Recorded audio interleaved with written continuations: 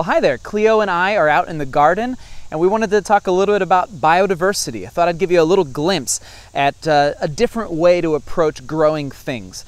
Now, we're familiar with the idea that if you're going to try to grow plants, you got to have, uh, you know, you got to blast the weeds out of there. You got to make sure you're giving them a ton of nutrients, and so you got to add fertilizer.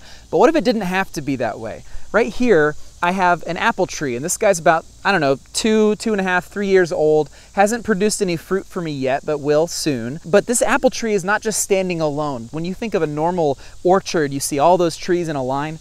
Uh, this tree is kind of surrounded by a bunch of other plants, but all of these plants are here for a purpose, and so let me show you kind of what they're all for. This right here is an Amorpha false indigo, and I may have planted it a bit too close to the apple tree, but here's what it does. This is called a nitrogen fixer. And so this shrub grabs nitrogen out of the air and puts it into little nodules on its root system. And so eventually that nitrogen will be shared with the other plants that are around. And so this apple tree doesn't need fertilizer because it's getting some nitrogen from this, this plant here. Uh, this right here, this is called comfrey. And comfrey is amazing. It's a, a dynamic accumulator, so it's got a really deep tap root and it grabs minerals and other nutrients from deep in the soil and it draws them up into its leaves, which you can chop these and you can drop them all around. And so I do this like a couple times a year. I'll chop this and drop it all around my apple tree, and then those leaves kind of dissolve into the soil as the, as the rains come, and then this apple tree gets all of those nutrients from the comfrey. Underneath the apple tree here, I have a whole bed of lemon mint.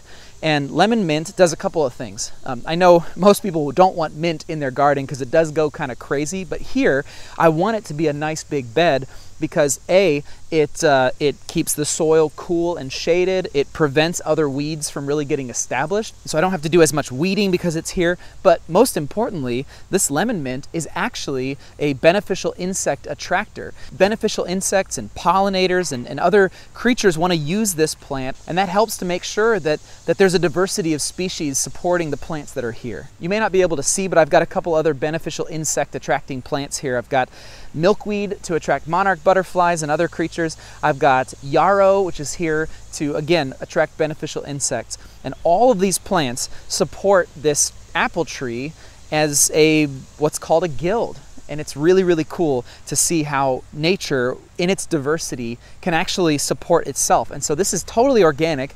I don't use pesticides, I don't use herbicides. And so far, everything's growing really, really well. Anyway, I thought you might be interested in seeing how this is working out in my garden. Now, guaranteed, you could make arguments that the yield isn't gonna be as high doing things this way, and sure, I do have to be a little bit more involved than I would be if I was just blasting everything with pesticides, but this is how nature does it. This is why you don't have to fertilize a forest, and here we are.